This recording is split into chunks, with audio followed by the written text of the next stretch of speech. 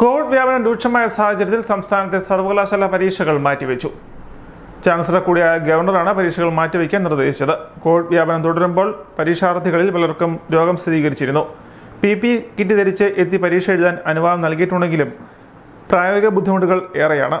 ഈ സാഹചര്യത്തിലാണ് ഗവർണറുടെ നിർദ്ദേശപ്രകാരം സർവകലാശാലകൾ പരീക്ഷകൾ മാറ്റിയത്. പുതിയ തീയതികൾ പിന്നീട് അറിയിക്കും. രക്ഷിതാക്കളും വിദ്യാർത്ഥികളും പരീക്ഷ മാറ്റിവെക്കണമെന്ന് ആവശ്യപ്പെട്ട് നിവേദനവും നൽകിയിരുന്നു.